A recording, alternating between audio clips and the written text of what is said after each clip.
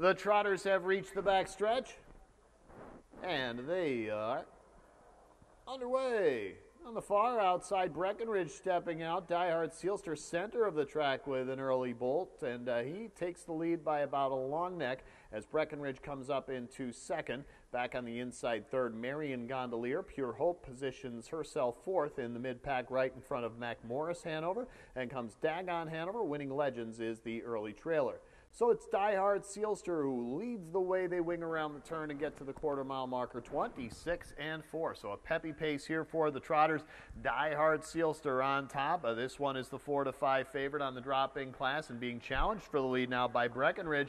Braxton Boyd having none of that, keeping the pedal on Diehard Seelster. So Breckenridge parked at the moment. A gap back to third, and Marion Gondoliers. Now Breckenridge tucks back in the pocket. The three year old filly Pure Hope is fourth as they round the turn. Then comes Mac Morris, Hanover Dagon, Hanover, and Winning Legends. The half mile 54 and 4, 28 even. Second panel, those are uh, fractions not for the timid of spirit here, especially on the trot here in the slop. That's what Diehard Seelster's laying down. Breckenridge still perched right behind. Pure Hope begins a first over move now for George Knapp just to the outside of Marion Gondolier. Brings along with her Mac Morris Hanover. Back on the inside, Dagon Hanover itching to get out, and winning legend still the trailer.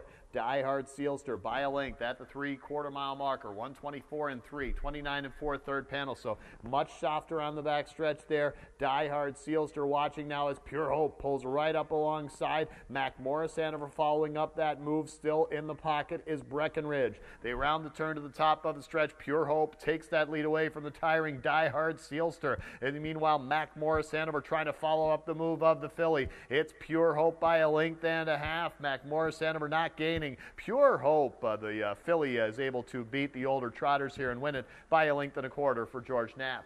Mac Morris Hanover second, followed by uh, Breckenridge third, and winning Legends fourth. It's Pure Hope in 155 flat.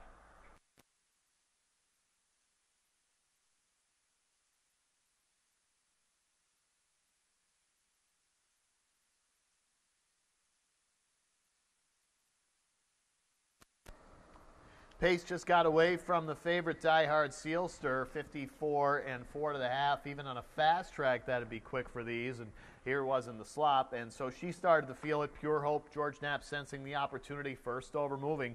And she is able to pull up even and pull past and hold off uh, the uh, two horse Mac Morris Hanover, who was following up her cover.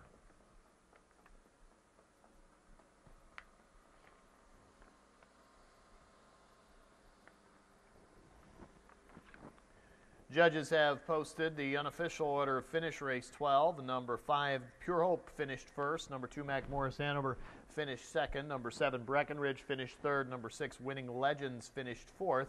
Unofficially 5 2 7 6 race 12.